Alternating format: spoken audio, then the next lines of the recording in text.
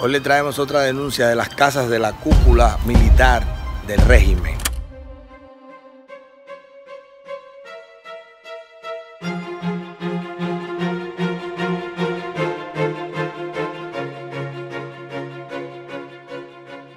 Hoy le vamos a hablar de la mansión de general Samuel Carlos Rodiles Plana.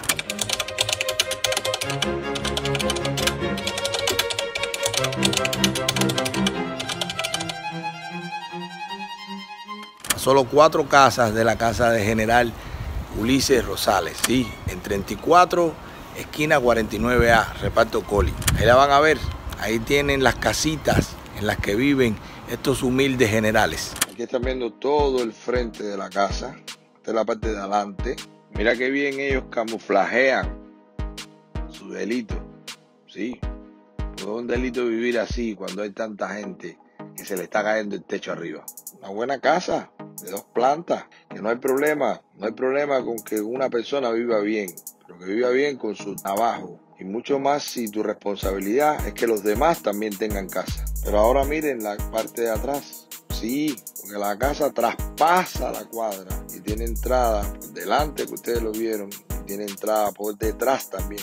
Mirenlo ahí, miren. En la casa como que también por detrás, muy uniforme el camuflaje, ¿eh? Vegetación, muro, para que no se vea. Está tillado, está tillado, está tillado general. General sabe que lo que está haciendo está mal. Por eso es que se esconden detrás de toda esa vegetación. Porque saben que vivir así es un lujo y más cuando lo que él hace en planificación física de la vivienda es ver cómo los demás no tienen casa. El tema con el general Rodiles Plana es que es el jefe general de planificación física de la vivienda nacional. Él, él es el jefe de planificación física, que significa que es el hombre que decide a quién le da y a quién le quita las casas.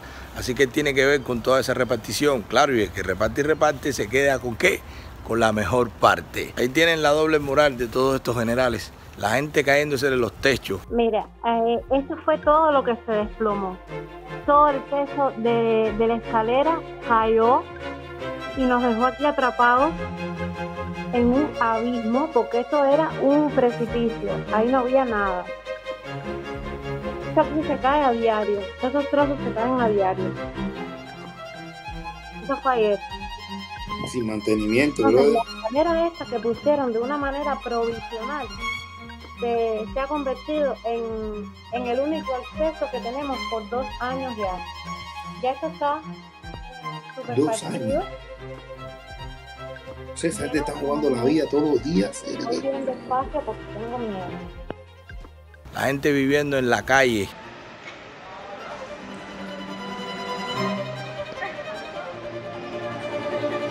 La familia Leiva en Oquín que no tiene casa durmiendo en un portal.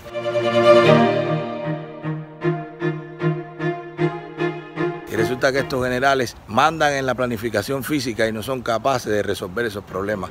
Esa es la revolución que tú querías, Nini. La revolución que le quita al que no tiene para darle más al que más tiene, a estos generales. Así que general, no se siguen repartiendo aquello, que a ustedes les queda poco y todo el que lo tuvo mal, se lo vamos a quitar.